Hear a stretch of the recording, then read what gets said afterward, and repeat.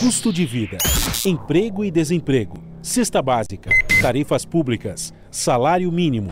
Agora, na Brasil Atual, a análise do DIEESE. E nós vamos conversar agora com o diretor adjunto do DIESE, José Silvestre. Bom dia, Silvestre. Bom dia, Glauco. Tudo bem? Tudo certo. A gente sempre fala tudo certo dentro do possível, é. né? No contexto atual. E ontem, Sil... E ontem, Silvestre, nós tivemos a aprovação finalmente do orçamento de 2021, né? Com muito atraso, um projeto aí que foi chancelado com a decisão do relator, senador Márcio Bitar, do MDB do Acre, e que retira 26 bilhões e meio de recursos do seguro-desemprego, do abono salarial e da previdência social boa parte desse montante vai ser redirecionada para algumas obras. Também existem outros aspectos aqui para a gente conversar a respeito desse orçamento que foi aprovado, o aumento dos investimentos no Ministério da Defesa, que chegam a 8,17 bilhões de reais, enquanto a saúde continua aí com um orçamento bastante tímido, para dizer o mínimo, diante do enfrentamento de uma pandemia. Como é que você viu aí esses aspectos e também outros da aprovação desse orçamento, Silvestre? Então, Glauco, vamos lá. Primeiro, começando pela essa, por essa primeira aprovação do orçamento, né, que eu acho que é, já vinha se arrastando há um tempo. Né? É, segundo, eu acho que merece um destaque especial para esse essa destinação de recursos para a área da defesa, que é cerca de quatro vezes aquilo que será destinado à, à, à saúde, né? Quer dizer, num momento de, de grande crise sanitária que nós estamos vivendo, é simples, no mínimo um contrassenso você é, reduzir os recursos da saúde. Um segundo aspecto, eu acho que deve ser é, considerado, é que você retira recursos também do seguro-desemprego e da própria Previdência Social no momento que você tem aumento do desemprego, você tem é, o agravamento da pandemia, como nós já comentamos, é, pioras né, nas expectativas econômicas para esse ano de 2021. É, enfim, é, um, é, no mínimo, né, Glauco, um contrassenso é, dar esse tratamento para os recursos orçamentários num momento como esse que a gente deveria, quer dizer, deveria ser feito o contrário, ou seja, destinar mais recursos tanto para para a saúde, como para as políticas públicas né, voltadas para aquela uh, grande parcela da população mais vulnerável que necessita de renda né, para poder é, cumprir, inclusive, o isolamento social. Né? Então, o que a gente vê é exatamente o, um, uma, o inverso né, do que deveria ser feito num momento como esse. E quando a gente vê né, dinheiro sendo tirado da Previdência Social, começa a pensar, mas como que o governo nessas despesas costuma aumentar de ano para ano, não diminuir? Então como é que o governo vai fazer justamente essa adequação? Aí nós lembramos, Silvestre, da Operação Pente Fino, né, que, sob a justificativa de detectar irregularidades em concessão de benefícios, acaba muitas vezes barrando benefícios que são legítimos do ponto de vista legal, do ponto de vista formal, e as pessoas acabam deixando de receber é, no momento crítico, né, como esse da pandemia, e também na demora de, da concessão de benefícios, da concessão de aposentadorias. Temos diversas reclamações disso também durante esse período da pandemia.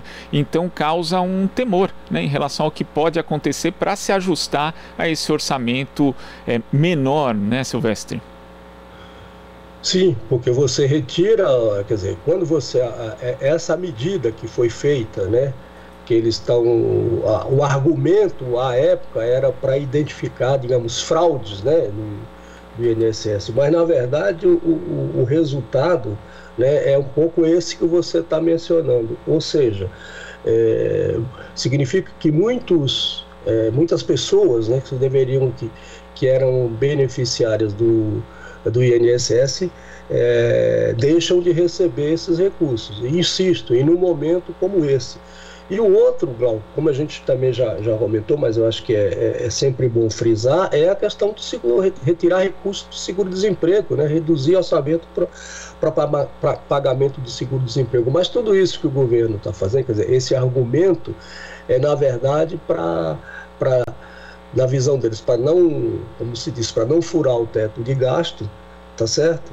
É, e isso é, acaba reduzindo o montante de recursos que seria que deveriam ser destinados para essas políticas, né? É, é, é exatamente no, no, momento mais é, dramático que a gente está vivendo da crise sanitária, é, o que nós precisaríamos era exatamente de ampliação dos recursos para fazer frente a todas essas políticas que são necessárias para o enfrentamento. Né? E, e, e enfim, bom, o resultado disso é, nós já estamos vendo né? e deve ampliar, que é exatamente a, a, a, o aumento das, da, das dificuldades das pessoas, o aumento das privações, o aumento da, da miséria, o aumento da desigualdade, né? É, que você vai ter aí tudo isso tem, tem como, como rebatimento, como efeito na ponta essas questões que eu estou é, mencionando. E você também mencionou, Silvestre, a questão do reajuste dos militares, que vai ter um impacto aí de 7 bilhões e 100 milhões de reais, sendo a única categoria do serviço público que vai ter algum tipo de reajuste. E a gente sabe o quanto o serviço público é importante no contexto atual da pandemia, seja para organizar, por exemplo, o pagamento do auxílio emergencial, mas também para fazer o atendimento direto no, no Sistema Único de Saúde, o SUS. Temos diversos funcionários e ainda o mesmo governo que concede esse aumento para os militares chega e pressiona estados e municípios com dispositivos de gatilho ali aprovados na PEC emergencial para que esses servidores também no âmbito estadual e municipal não tenham reajuste. É um contrassenso muito grande, Silvestre.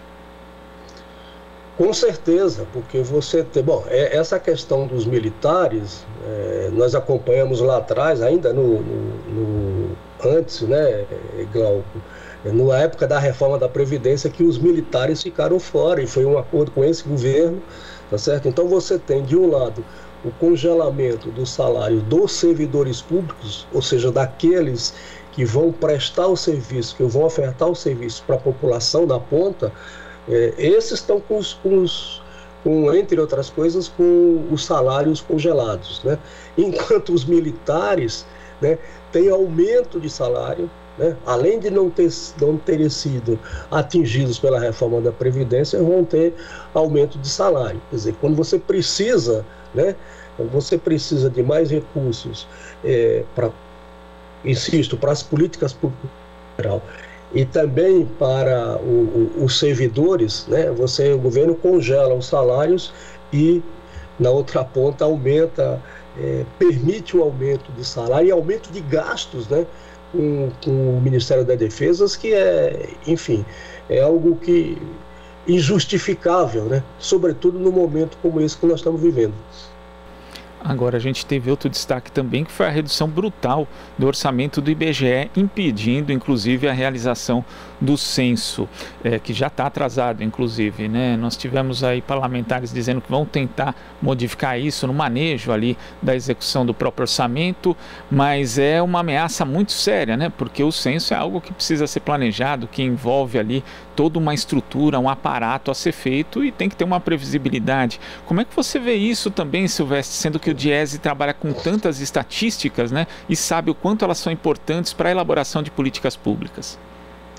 Então, Glauco, muito bem lembrado essa questão do IBGE, porque você, é, a gente também vem acompanhando, o IBGE já tinha feito, uma, porque originalmente é, o, o, orçamento para o censo, lá antes da pandemia, era da ordem próximo a algo como 3, cerca de 3 bilhões de reais. Depois foi feito, é, o Ministério da Economia falou que não, aí o, o, IBGE fez um ajuste no orçamento, esse, esse orçamento caiu para cerca de 2 bilhões, e agora você tem uma redução drástica desses valores, quer dizer, é, você inviabiliza, né? Como é que você vai fazer um censo com, esse, com esses recursos, né? É, vamos, vamos ver agora se, se, se os deputados conseguem reverter para que tenha um, um, volume de recursos é, muito maior do que esse que está sendo previsto para que você possa é, realizar o censo. O censo é uma, uma coisa extremamente necessária, né, Glauco? Você tem um panorama, você tem um perfil da sociedade, quer dizer, é fundamental as informações do censo para tratar a estratégia de governo é combinar a estratégia de governo, combinar as políticas públicas, enfim, as necessidades, pensando do ponto de vista do planejamento do país. E aí você tem um, os recursos é, reduzidos né, nessa magnitude que a gente está acompanhando. Quer dizer, é mais um contrassenso por parte do, desse governo. Tá certo, Silvestre. Queria agradecer a sua participação no Jornal Brasil Atual e até a próxima. Ok, bom dia para você, Glau. Bom dia. Conversamos aqui com o diretor adjunto do Diese, José Silvestre. Você está ouvindo Jornal Brasil Atual.